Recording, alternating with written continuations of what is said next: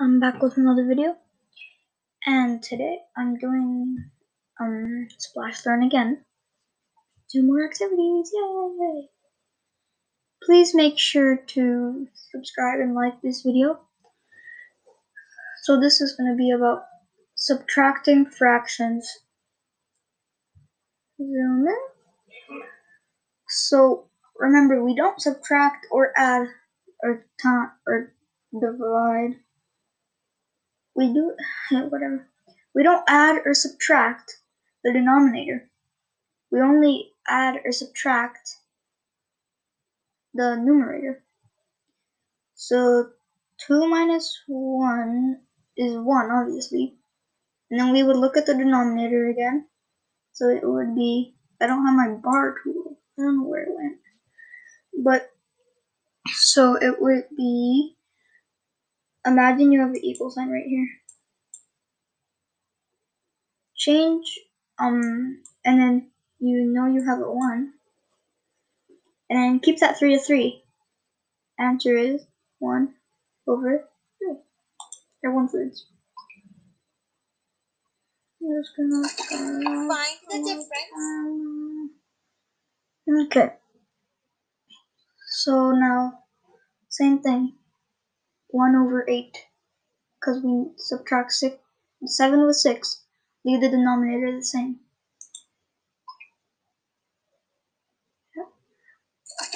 Find the missing number. 2 thirds minus 1 third equals 1 thirds because 2 minus 1 is 1 and it's asking us for the numerator so only focus on the numerator.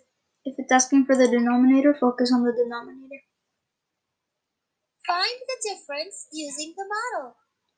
So now this, you can see the answer is one third. And some I'll be modeling this. I have modeled it. Cross out the shaded parts oh, there to represent the following subtraction. So now you need to model it.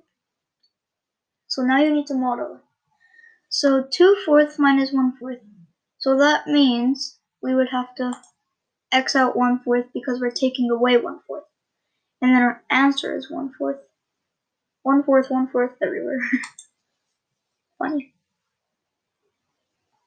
Cross out the shaded parts to represent the following subtraction sentence. Same thing. 2 minus 1, 1. The denominator answer is 1 third, so we only x out 1. Hmm, yeah. Find the difference using the model. Okay, so now we have 5 sixths minus 2 sixths. The model can be kind of confusing sometimes too, so I like to focus on the equation. 5 sixths minus 2 sixths. So I'm going to focus on the numerator. 5 minus 2 is 3. So the answer is 3 sixths. You can count that up here too. Denominator stays the same. Count up the ones. 3 sixths. I know that for a fact. Find the difference. Same thing. Look at the numerator. So it's going to be 1 over 5. Denominator never changes. Never, ever. It sometimes changes. Find the difference. But for subtracting and adding, never changes. 2 minus 1 is 1. So the answer is 1 third because the denominator is the same.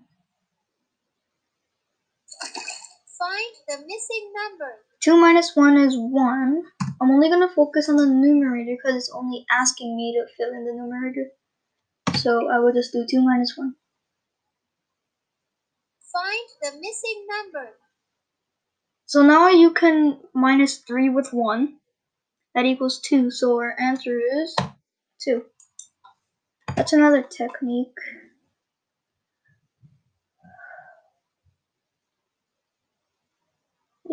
Your answers, yay!